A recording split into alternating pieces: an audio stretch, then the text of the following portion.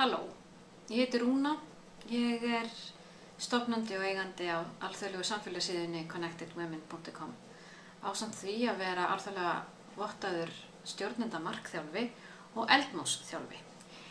Mér langar í þessu stutta myndbandi til þess að segja þér aðeins frá vinnustofinni sem við kalla tæklum internetið. Þetta er þryggja klukkustunda vinnustofa sem ég ákveði að setja upp með það að leiðaljósi að gefa konum í atvinnulífinu tækifæri á því að kynnast frekar og læra og skilja meira út á hvað samfélagssíðurnar á vefnum e, hvernig það er að vinna.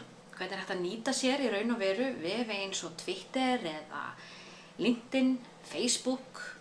Nú uh, síður sem að byggja á, á vídeo, svona myndböndum eins og YouTube eða jafnvel að vera live á myndbandi og, og kynna það sem þú ert að gera á, á stöðum eins og til dæmis Justin TV og fleiri stöðum.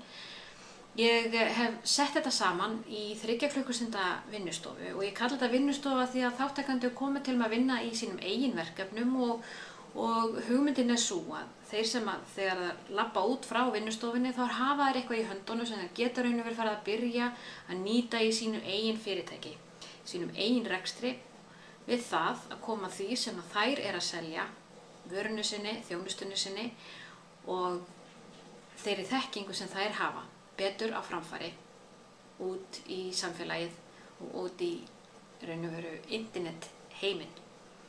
Þú fara alla nánar upplýsingar hérna á síðunni. Ég hveti til þess að skoða þetta, hafa samband við mig og þarft á okkur fleiri upplýsingum að halda en þú getur einfallega með því að smetla á litlu krækina sem er hérna fyrir neðan getur þú skráð þig á næstu vinnustofu og ég hlakka mikið til þess að fá að sjá þig og heyra frá þér.